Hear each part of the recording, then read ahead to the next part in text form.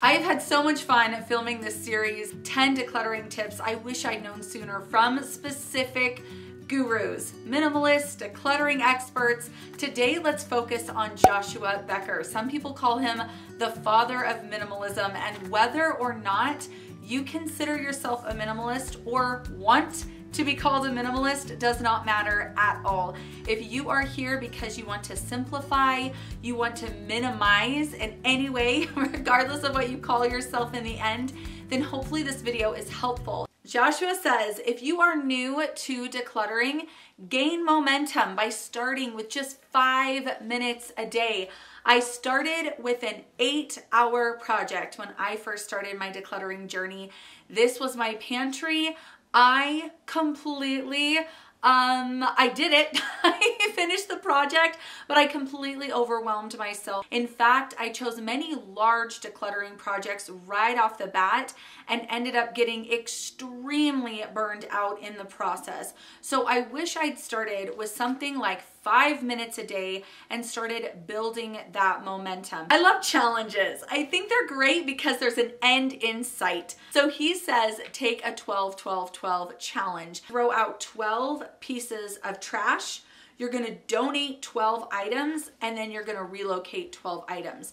This would be a great time to set the timer for five minutes, 10 minutes, and just see if you can find these 12 items. Be prepared, have a trash bag with you, have a little donation basket, make it very easy and just race the clock. Don't pick up your phone. And if you wanna make it a 10, 10, 10 or a 5, 5, 5 challenge, go ahead and do that. Whatever you feel like is achievable that will get you started. That's the hardest part, right? Is getting going. At least that's been my experience. So he says specifically the 12, 12, 12. I absolutely love it. Love the concept. He says when we think about decluttering, our minds go to the most overwhelming space. And this is what I would do. This is what my mind would do anytime I thought about decluttering, instantly my mind would go to that playroom because that's a room that was really, really bothering me. Or it would go to the closet. I was really embarrassed by my closet. It's one of the rooms that I felt like I have got to get this under control. My pantry, another area that my mind would instantly go. So I absolutely love not allowing yourself or stopping yourself when your mind goes to that most overwhelming space, which I think we all do this and then shifting that and saying, okay, what's an easier space? This leads me perfectly into the next one. He says start small, like in your car. Start on the coffee table, one small surface. Start in the bathroom, maybe the bathroom countertops. These are very small wins, small victories. And again, you're building that encouragement, you're building those muscles, and you're going to get to the large projects. You're not putting them off forever, you're just working your way up. Okay, this one is really good. Joshua says to declutter faster, start with what you need to keep instead of focusing on what you can get rid of or what you need to get rid of. And I think this can also be a mental shift. Instead of thinking, oh no, this is gonna be so hard, hard. I'm gonna, in order to have a clutter free home, I'm gonna have to get rid of, and your mind goes there and you go to those items or those things or those categories that you love and you want to keep and you start to panic if you're anything like me and you freak yourself out and you're like, I can't get rid of that. I can't get rid of those memories. Oh no, I spent all this money. It was a gift and you go on and on and on. I love the idea of focusing on what you can keep. The Becker method is where you work through your home room by room starting with the easy places like your car, living room, bathroom. Such a great place to start. And if you're taking my 2024 Declutter Challenge, it's another series I'm running right now where I'm taking you location by location throughout your home. And by the end of the year, we should have hit every single spot in your house and I'm gonna declutter alongside you. So I start you in the bathroom. I agree. This is a great place. Don't start with your pantry like I did. Way too overwhelming. Don't start with your closet. I like to start in easy places now now that I know better, like the bathroom. So start in easier places, go room by room, and then finish an entire space before moving on. It's tempting when you feel that burnout, when you're feeling overwhelmed. You're like, I want to keep decluttering because I want to keep making progress, but I'm sick of this room. I'm sick of this space. And it's hard to keep yourself encouraged and to force yourself to keep going back to that same project. But I am telling you, it is the way to go. So don't move on to any other project or any other room in your house, no matter how small or large the area is that you're working on until the spot that you've started with is completely done. Joshua says distinguish between organizing and minimizing or decluttering. This is something that I was really confused about for a very long time. I thought my problem was that I wasn't organized. I didn't realize that the problem, the reason I was so overwhelmed, stressed, felt like I was constantly cleaning or else my house was always a mess.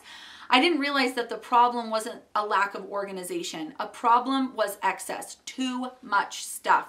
And so I love that he really wants you to distinguish between organizing and decluttering. So here is an example of that. Here is underneath my bathroom sink in my townhouse where I lived several years ago.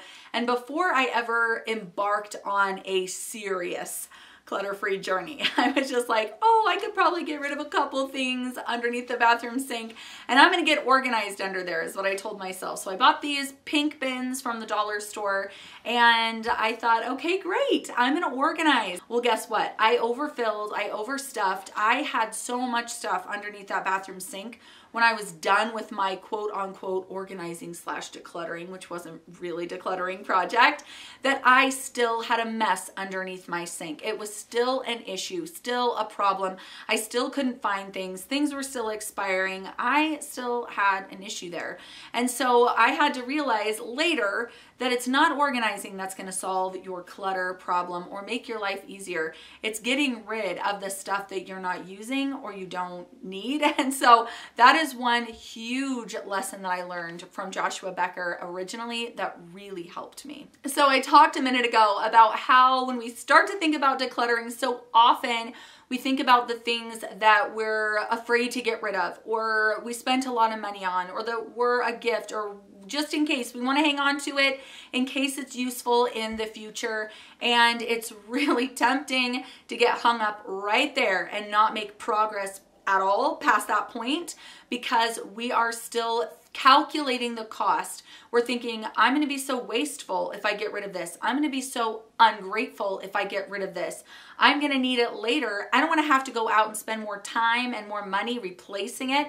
That just feels so inefficient. But he says the burden of clutter, the burden of clutter is money, time, focus, energy, and space. So I think kind of flipping in our mind where the cost really is is so useful. Once we realize it's costing us more to actually keep the item than it is to get rid of it, it just gets that much easier. Then he also says keeping an item does not make it more useful. Just because you have three pairs of scissors does not mean you're actually using that third or even the second pair. When it comes to sentimental items, which I think hangs all of us up, myself included, this one is tough. He said, your memories are not stored in the object, the memories are in you.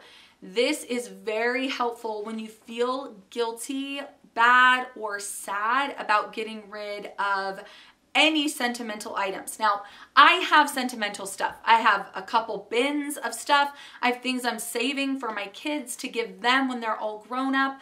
I have absolutely no problem keeping sentimental items, but it's the idea that you have to keep everything where it kind of trips you up. It's tripped me up in the past where I feel like I have to keep every drawing, every school page. And I don't remember who said this. It's probably Joshua Becker. It, I think it is actually, if everything is special or important, then nothing is special and important.